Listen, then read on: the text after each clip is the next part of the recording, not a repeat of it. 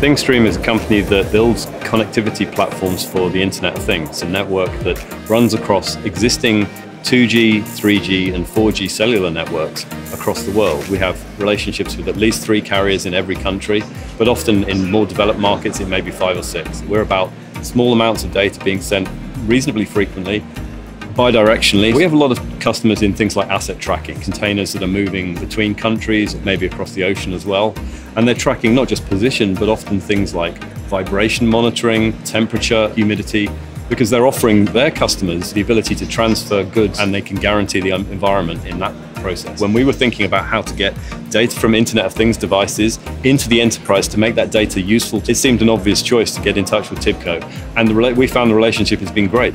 There's always a trade-off with the, the complexity of a solution and what you can do on a device versus the battery life that you can achieve from it. You really want something that will compile down into something that's small and efficient, but at the same time be platform independent, and that's really the goals of Flogo. We've designed our solution to be as low power as it can possibly be. We have a demonstration to explain how ThingStream works with both Flogo and TIBCO Cloud Messaging. We have Flogo running on a, on a piece of hardware, a Raspberry Pi device. We've got our, a cellular modem attached to that. We've got one of our ThingStream SIMs in that device. Then we have a component in our server-side platform that allows you to build essentially drag and drop integration and data processing. And one of those elements we have is a connector for TIBCO Cloud Messaging.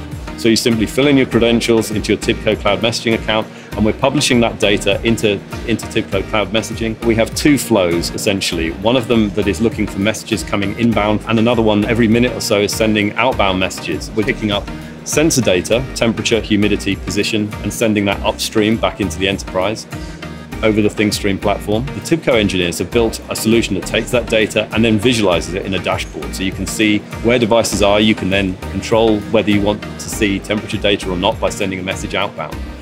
And that messaging on the way back out actually uh, uses MQTT. So another part of the TIBCO components is direct integration with MQTT. It's a really nice solution. It allows projects to come to market instead of in 18 months, six months.